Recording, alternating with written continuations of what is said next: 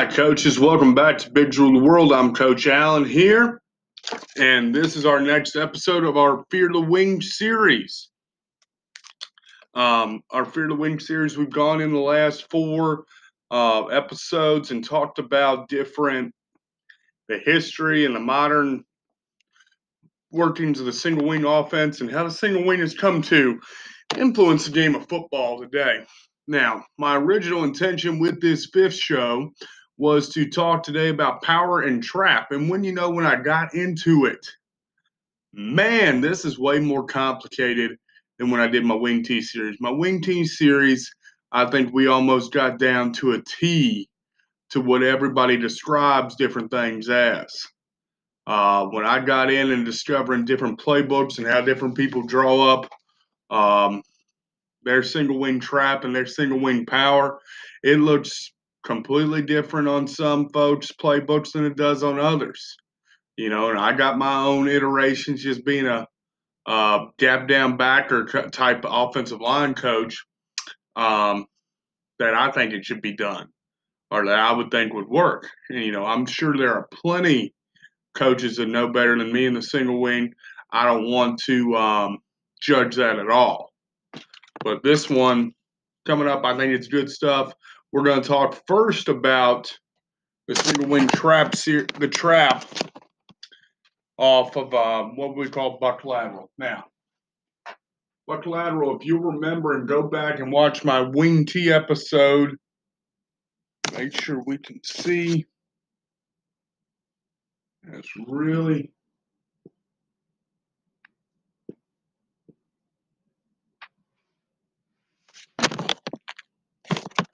a little weird reflection there.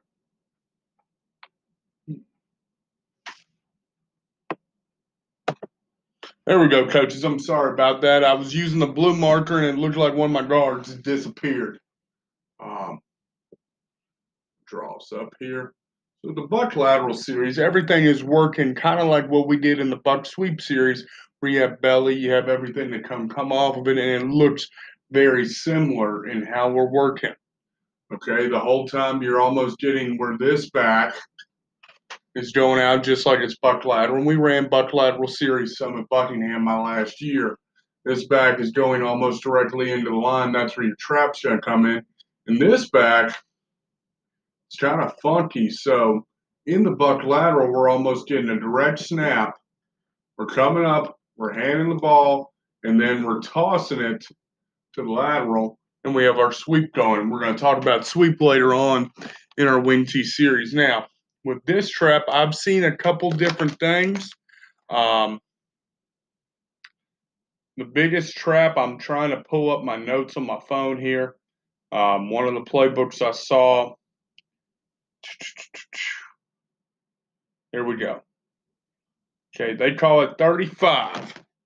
I'm not going to give the name of this Wing T team um, but they're stout wing team, team uh, not wing team, single wing team, stout single wing team within the state of Virginia. Um, where did I go? Versus odd, and I'm gonna draw it up how they do it.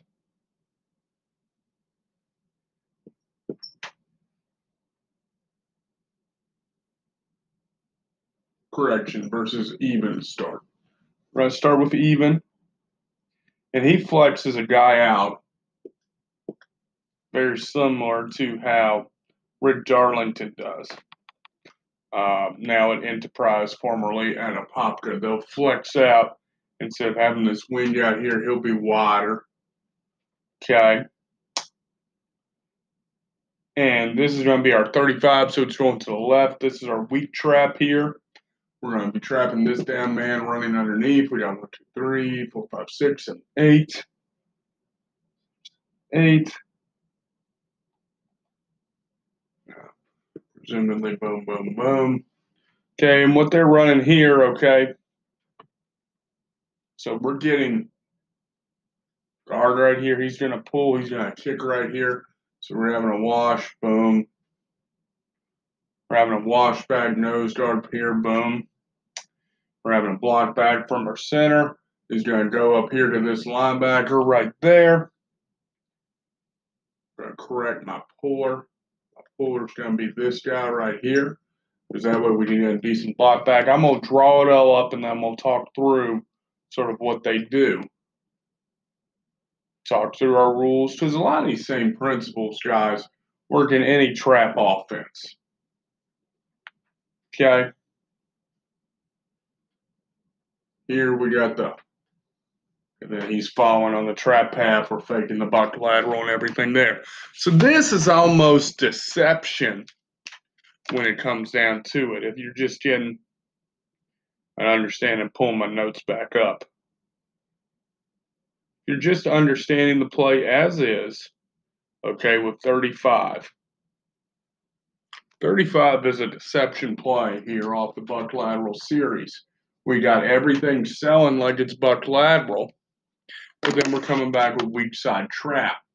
So if I'm coaching points right here, if I'm working left to right on the line, now what's cool about putting these guys outside right here?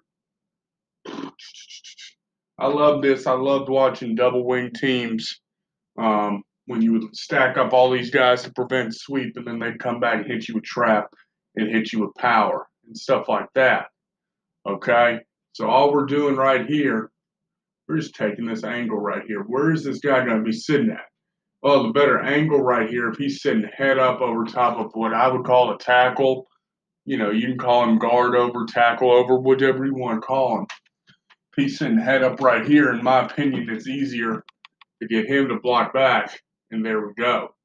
Um, this scoop block right here, they're looking at a double team when you draw but I think he can almost scoop and go to the next level if he needs to, you know, between these two guys. Now, working, going back here and working left to right. What's cool, like I said, is we don't need to block these certain level defenders in trap. If they're going to play us out here with more guys outside of your standard tackle box. So our backside tight end right here, he's dipping and ripping. He's getting off that trap man right now and going up to linebacker. He almost wants to create this wall. Okay, we're forcing this linebacker in to get a wall here. If he goes outside, I'm be honest, that's fine. It's gonna be tighter than you expect. Here, it's all about fanning back with the wall right here. All right. If this nose guard shoots this gap right here, this center's got to know he's got backside A gap responsibility. Okay, he's down gap back gap down backer. Okay. So where they have it drawn up where the note where the back play side guard is getting that nose guard. Well, if this nose guard shoots a gap right here, obviously now that guard, that backside guard has got to dip and rip and get off that and get to linebacker. We worked on that and we talked about that before with our down block double team combos. Okay, I talked to you here about ba- basing your puller here off of who's got where is this man positioned? Okay, the further I, to me, I'm more inclined to pull this backside guard the further he gets out.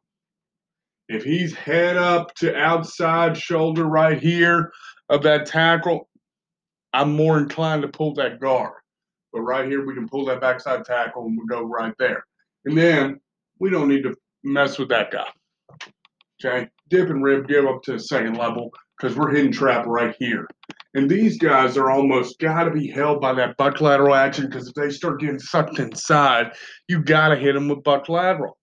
You got to hit them with a sweep. You know, single wing coaches can correct me on that one. But if I'm just watching the single wing run, its operation, if they start getting sucked inside right there, I'm going to hit them with sweep. I want to get north south real quick in this series and see what's going to bite on them. And what's cool about the buck lateral is it's built a lot like, as I pull it up versus an odd formation, it's built a lot like the Wing T series. I'm going to do myself a favor right here. We're going to keep everything. Yep, you can see that.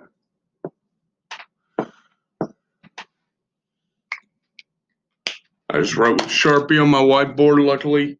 I'll teach you a little trick of the trade when we get down to the end on how you can do that, keep it, so that way you don't have to always be writing back your X's and O's.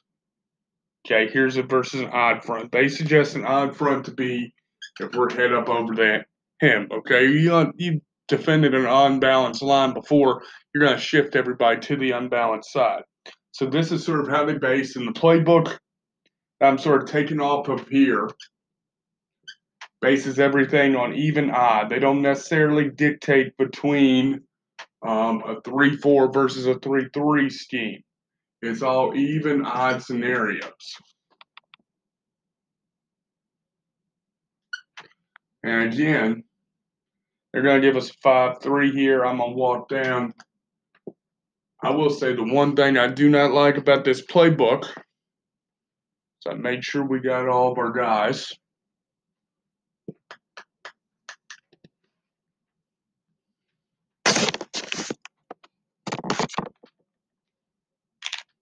one thing I do not like about this playbook, and just in all honesty, is that I wouldn't draw this up. I would put more defenders in the box draw it up against and see what happens. Well, if you put more defenders in the box, we can block that. I'm going to show how we can.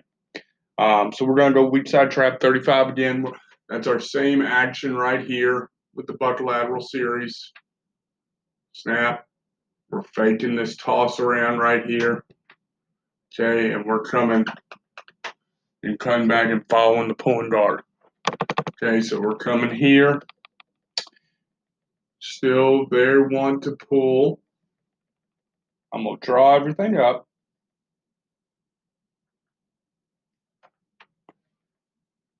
And then we'll talk about it.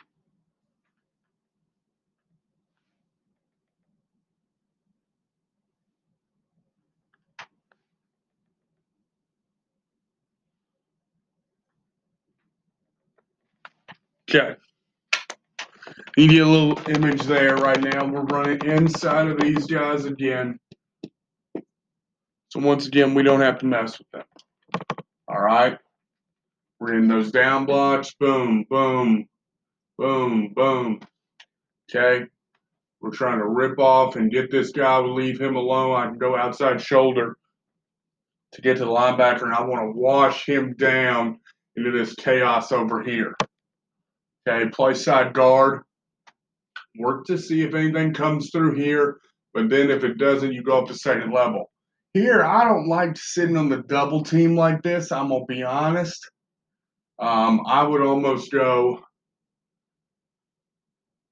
this particular playbook. They're pulling that tackle a lot.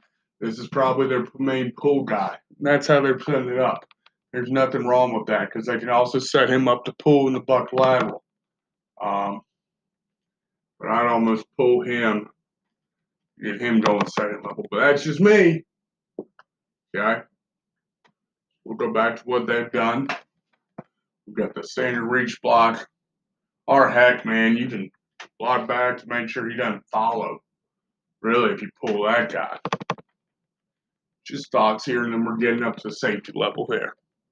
All right, and that's your trap, your weak side trap off the buck lateral series what they're calling this particular playbook is calling the five play or 35 bat rather because you have and guys you can dress it up and that's what's cool about the single wing. I'll put my wing back in here too.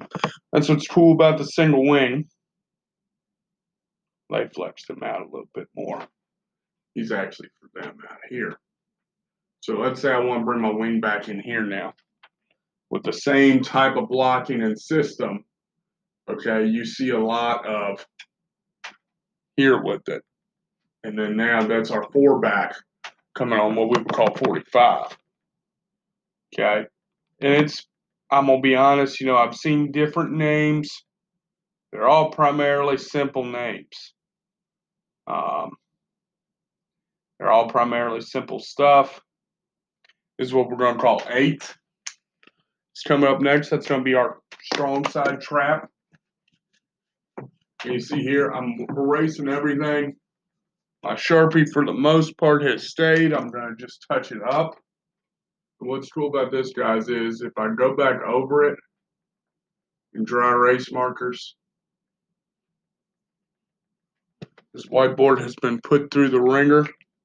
If I go back over and dry erase marker, I'm able to erase everything and get my clear board again. But right now, I keep my line set up where it never gets erased, and I don't have to keep redrawing the line over and over and over again. Just a little tip of trade there.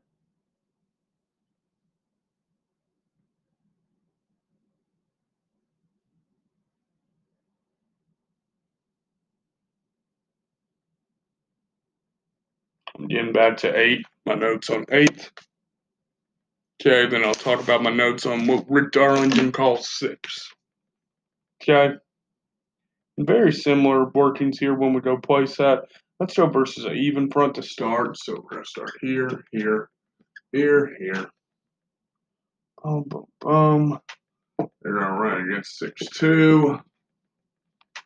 I would probably run against 6-3. We'll save all the 6-3 stuff um, with 5 and 8. I'm making a note now. 5 and 8 versus a 6-3 is going to come up after this. So, going through what their blocking is, we're leaving him unblocked. We're just stepping up, going to second level, which I don't mind. We're going to just try to cut him off. If he tries to come B gap, then we got to block him down. That's fine. Center can actually block back there. You can block back there. Our tackle can come down and defend the backer there. We're going to trap this sucker right here. I've seen a lot too, guys. Right there. Okay. So a lot of reach and scoot, a lot of down blocks there. Um, dip and rip, get up to second level. Block back to any trailers right here for the nose guard. Um, block back here to block the nose, block the nose guard here. Block back from center to get any pullers, to get any guys who are following the pull guy. Walk back, kick out right here. That's what we if you go back to my series on the pull, that's a trap pull. That's a defensive lineman trap right there. Um, I like to say pull right, trap right shoulder. We're kicking, we're getting out over top, trying to get to the second level linebacker. We're creating a wall right here, and we're running that play right there. So we're all these people just don't screw with them. Okay, don't waste your time with them. All right, that's sort of how they drew it up against the even. Um, the major changes I would make. Trying to see if I would really, you know, if I really wanted to, guys, I think you have the angles. And when we get into power, when we get into six, I almost like with this lineup more. It, you know, you guys can see it. Go six here. And, you know, a little tweak that I think you can also do to run your power, run it more traditionally like wing T, is, and this is one of the things um, trying to say Rick Darlington gets into when we talk about six. We talk about power with the double team, but this just shows you how easy power is going to be. We can just snap right there, and now here we go. All right, it's fairly simple. Um, that's it's even. So against odd.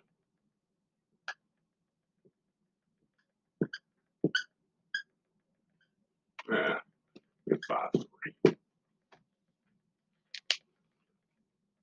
That's the one thing I don't like about this playbook because when I've drawn it up and single wing coaches, feel free to comment in the section below and blast me.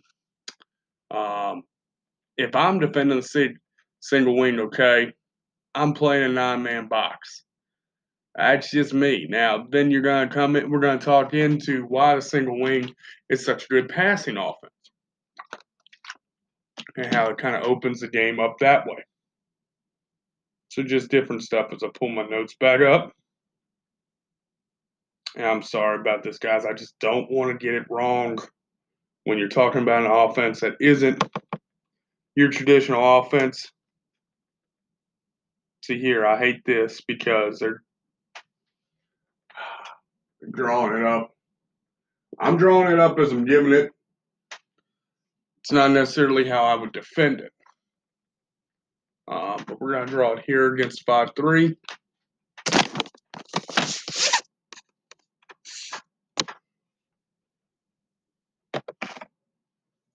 Sorry about that, coaches. I played around with the audio audio visual effects, my um finally figured out my light in my dining room here is sort of blocking out certain things. So I want to slide the board over. It might be a little bit crooked, but uh, this gives you the best view. We're going to talk again about eight. We're going to talk again about eight coming up and just how we block that now against what we would call an odd front. Again, shifting the center and what we call even versus odd over one to the unbalanced side. We're going to talk about eight. Okay. Run against the odd here. We're going to block back with our center. We're pulling now. Okay. Double down here. They're going to block it like power, whereas versus a normal trap. This is their 8. They're 38. Okay. So there's our guy we're kicking. And sort of an easier time, I think. Seeing what we need to do there. Okay, once again, we can leave them out, leave them out, up our blocking steam. Just a very quick turn, block back, sort of a good jet good center exchange there with the guard, almost an X block when we get off the block back here. We get this double. I would force this double team, if I could, to the lap of the backside backer. Because then we have our far, our unbalanced tackle or tight end dipping and ripping and get off our trap man. Here, we don't need to block him. He's outside of the zone where we're running. We can dip and rip and get up the backside, get up the play side backer to create a hole there. Um, now I said I wanted to run five and eight versus six three look and just sort of draw up how I would run it. Okay, let's start with eight since we're talking about eight. You see my uh, this is because I'm drawing over it. I told you it erases. It's Sharpie, and it erases if you draw a dry erase marker over top of it. Blow your mind there. Okay. Let's go.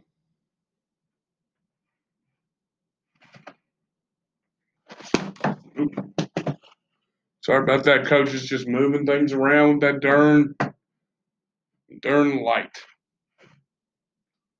Okay. All right, coaches, that should solve our light problem there. And it's a little bit easier reach for me. Um, go back, draw it up against 6 3.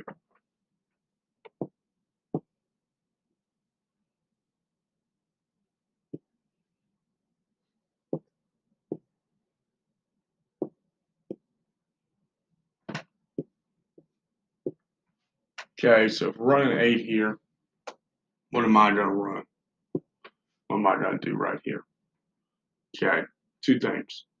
I prefer to pull this guy. I think I've talked about that before. I always prefer to pull the guy closer to the point of action there. So now you can get what I'm saying here.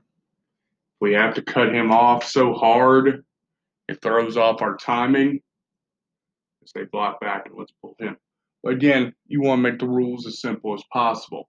That's what I suggest. If your rule's going to be that guy's always pulling, that guy's always pulling.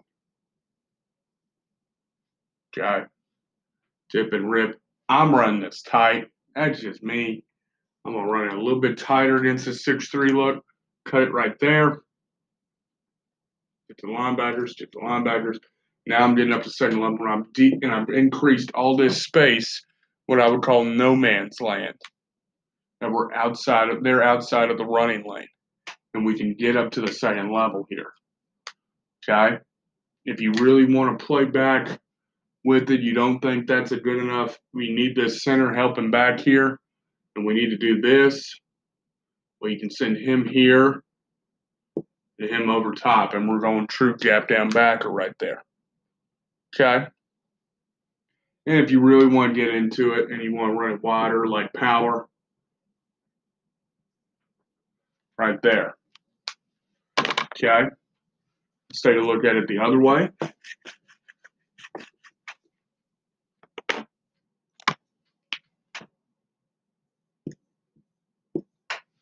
If we run to the weak side.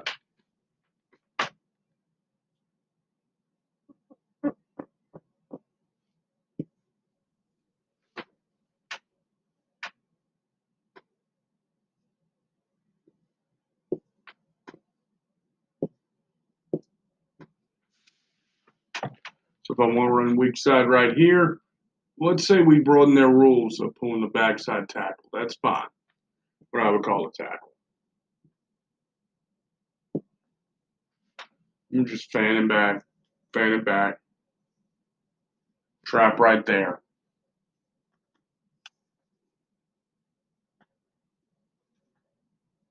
Then we're getting up to second level right there. And that's how you can run it. Now, how does Rick Darlington run his? And his formation is going to be a little bit different. So I'm going to erase the board clean. As clean as we can get. Rick Darlington stuff, and he calls power the best play in the game. Like I said, what was Rick Darlington's quote in our last episode? We're going to put as many guys in C gap as possible and make you try to find our running back through it which I think is a pretty nasty ass quote. Just being honest. He'll flex this guy out some actually. So Rick will also run like this and run it almost in a what'd you call it? 41 person or 31 personnel with three backs. Yep, three backs and tight end. It's really tight end over. So you got different looks there. So I'm to draw up what Rick had. And he has his Power Series video available. I'm to talk about it. I'm to talk about he sees something. I see something with him that I saw in a lot of single wing type playbooks. So this guy's going up right there. Okay. And that's we're not going to block down. Okay. Fan out here. I guess that's your kick. Okay, this is really how he's running power. Can think of it that way, I guess. We're going to leak right there. The block back right there. Bang, bang. Bang, bang, cut off. We're wrapping. Back's coming. And we're going to town. And what he talk about? He talked about as many people in C gap as possible and that's sort of how he's running power. So now your kick guy is this H back, is this wing back type guy, and we're sort of forcing him out. He's not more into. We've gotten away now from the buck lateral series into just body on body power. And remember the three rules of power that we talked about within the single wing. You know, we talked about in our wing T series. Okay, we want a double team at point attack. I like that down block double team. Okay. We want a kick out. He did that with his wing backs. and we want a lead on backer. That is your true traditional power series. What I like about power and trap out of the single wing is if you want to do it out of the buck lateral series, you have the deception. Um, we barely touched on this, guys. It's been we're in here almost 30 minutes. I haven't done a 30 minute video in a long time. Um, because I know a lot of us don't have 30 minutes to sit down and watch a video. We fast forward, we get to the parts we want. Um, you can run single wing buck. Uh, you can run it out of the buck lateral series, and it'd be sort of a deception thing, similar to the buck sweep type series in wing T. Um, you can run it just straight, like what I just showed you with Rick Darlington, where bodies on bodies, we're going um, trap or power in C gap right here, right now. C's got the balls to stop us. And I love that shit, man. Um, I love both ways of doing it. And you also have the deception where you can bring the wing back in and run wing back types of traps, wing back, and you're running the same type of block and you're just creating a different player getting the football. Um, I told you I saw different numbering systems, different wing systems. Okay. Uh, numbers, holes, um, players.